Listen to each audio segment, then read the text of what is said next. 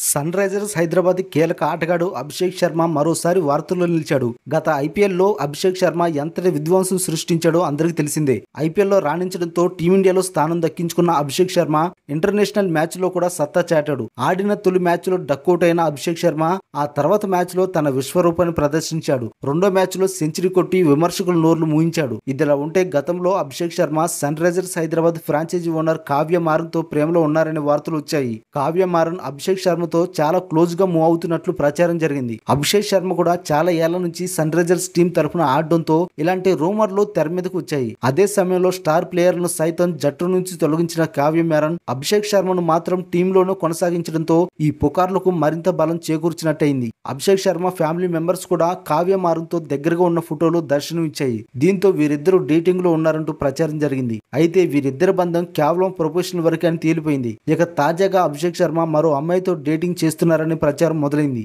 ఓ అమ్మాయితో అభిషేక్ శర్మ క్లోజ్గా ఉన్న ఫోటోలు నెట్టెంట్ వైరల్ అవుతున్నాయి. అభిషేక్ శర్మ ఆ అమ్మాయితో రిలేషన్లో ఉన్నారనే ప్రచారం జరుగుతుంది. అయితే ఆ అమ్మాయికి సంబంధించిన వివరాలు అయితే బయటికి రాలేదు. అభిషేక్ శర్మ అమ్మాయితో దిగిన ఫోటోలపై నెటిజన్లు భిన్నాభిప్రాయాలు వ్యక్తం చేస్తున్నారు. నీకు లైఫ్ ఇచ్చిన కావ్య పాపకు హ్యాండ్ ఇస్తావు అంటూ ఓ నెటిజన్ కామెంట్ చేయగా అభిషేక్ శర్మ కూడా పెద్ద ఆటగాడే అంటూ మరో నెటిజన్ కామెంట్ చేశారు. ప్రస్తుతం అభిషేక్ శర్మ సంబంధించిన ఫోటోలు సోషల్ మీడియాలో వైరల్గా మారుతున్నాయి.